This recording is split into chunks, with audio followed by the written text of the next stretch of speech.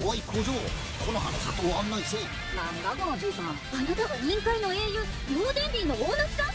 でも今トカゲ階段中でそん。なもん。知らん。さっさとわしを団子屋に連れておこ腰が次回ボルトナルトネクストジェネレーションズ世界で一番硬い石このじいさん。本当に伝説の忍びなのかな